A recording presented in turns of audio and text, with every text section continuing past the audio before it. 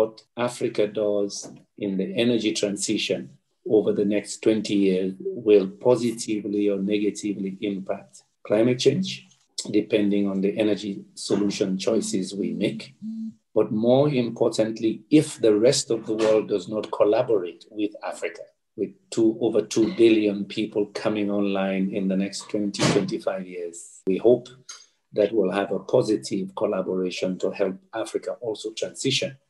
We all take energy for granted. You switch on the light, it comes on. But in poorer countries, it's an existential issue. You can't store the vaccine if you don't have the power. You can't have the operating theater working well if you don't have power.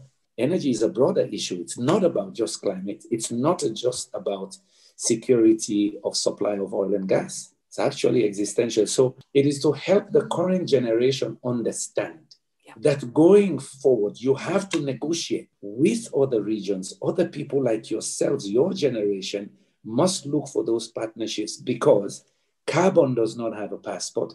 And now we realize that, hey, viruses do not have a passport as well.